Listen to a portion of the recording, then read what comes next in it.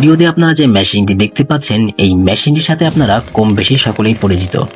এই মেশিনটির নাম আর্থ আগার, অর্থাৎ মাটি গর্ত করার মেশিন।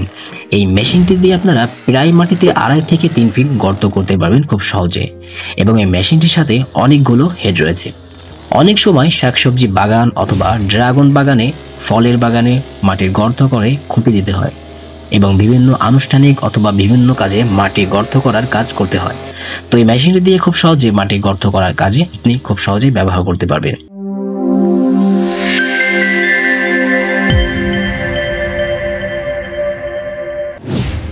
আসসালামু আলাইকুম, সুন্দরবন ফার্মের পক্ষ থেকে আমি আছি ওমর আলী। তো দেখতেই পাচ্ছেন এখানে যে মেশিনটি রয়েছে, এটা হলো আমরা অনেকে অনেক রকমের বলে থাকি এটা বিশেষ করে হয় আর্থ আগার, অথবা আপনারা অনেকে অনেক রকমের বলে থাকেন, যেহেতু এটা প্রচালিত হয় মাটি গর্ত করার মেশিন তো আপনি এই মেশিনটি দিয়ে যে কোনো জায়গায় আপনার বিভিন্ন যে আনুষ্ঠানিক বা বিভিন্ন যে কাজে আমরা মাটি গর্ত করার যে কোনো টুলস ব্যবহার করে থাকি, অথবা যে কোনো মেশিন ব্যবহার করে থাকি, সেই ক্ষেত্রে এইখানে যে মেশিনটি রয়েছে, এই মেশিনটি দিয়ে আপনি খুব সহজে যে কোনো গর্ত খুব সহজে করতে পারবেন।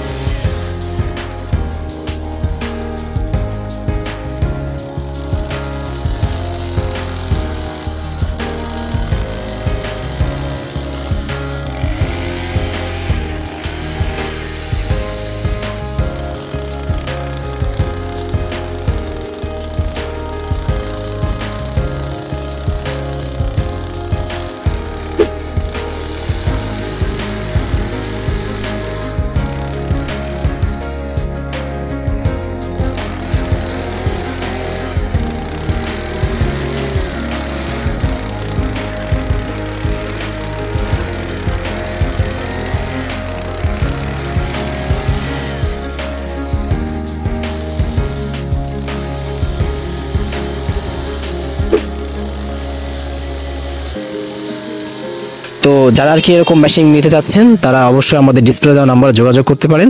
আমরা সমগ্র বাংলাদেশে কুরিয়ারের মাধ্যমে কন্ডিশনে ক্যাশ অন ডেলিভারি করে থাকি। অথবা আপনারা চাইলে আমাদের শাখা অফিস ময়মনসিংহ এবং বগুড়া থেকে নিতে পারেন, অথবা আপনারা চাইলে হেড অফিস আসতে পারেন। আমাদের head office Krishnanagar, Harintana zero point Khulna, এখানেও আসতে পারেন এখানে এসেও নিতে পারেন। তো আজকের ভিডিওটি কি? সকলে ভালো থাকবেন, সুস্থ থাকবেন। আর মেশিনটির বিস্তারিত আরও জানতে আমাদের ডিসপ্লে দেওয়া নাম্বারে যোগাযোগ করতে পারেন, অথবা আপনি আমাদের ওয়েবসাইট ভিজিট করে বিস্তারিত জেনে নিতে পারেন। তো সকলে ভালো থাকবেন, সুস্থ থাকবেন। আল্লাহ হাফেজ।